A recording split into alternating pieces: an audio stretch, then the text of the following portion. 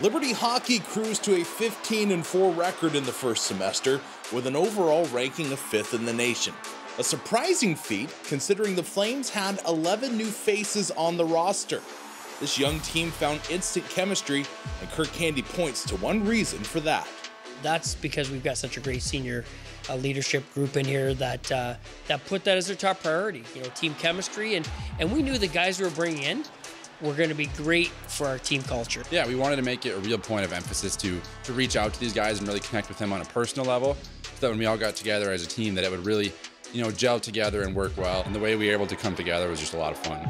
And that instant chemistry would allow the Flames to find the strength of their game early. It's speed for us. We're all over the ice. We want to be in our opponent's faces all night. And we know we're really talented, so if we can have the puck as much as possible, we know we have the best chance of winning. You know, we're a really fast team. Um, the way we can transition, you know, off the rush and create offense that way. And also we're a really big team too. So we can use our, our physical side to, you know, just play that game and kind of create offense that way. The secret weapon for LU, however, has been having fans back in the stands. You know, we were deprived last year, and having fans here this year has been the most amazing thing. You know, we, we don't take it for granted, and everybody shows up. And you can feel the energy on the ice, and it absolutely impacts how we play. It's been a lot of fun. The energy in the building's been unbelievable. Second half of the year, uh, with some great opponents coming in town, I'd imagine the building will be uh, full for the rest of the year.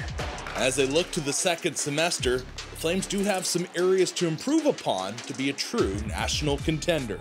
There's things that we can tweak, such as I think that we can be a little more consistently dangerous around the net, and that's when we have chances to to score.